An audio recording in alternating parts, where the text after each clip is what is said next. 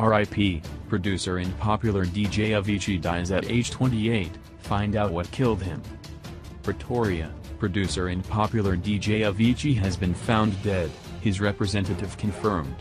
The Swedish electro dance sensation, whose real name was Tim Bergling, was found dead on Friday. It is with profound sorrow that we announce the loss of Tim Bergling, also known as Avicii, his management said.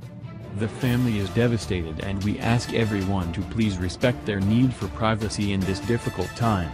No further statements will be given. The days, you make me and wake me up. Hitmaker was 28 years old at the time of his death. The DJ died in Oman's capital city Muscat, a brief statement said, without specifying a cause of death. In 2016, Avicii stunned fans by announcing his retirement when he was just 26 years old. While his death came as a shock, Avicii had spoken publicly in recent years about his health problems including pancreatitis, triggered in part by excessive drinking.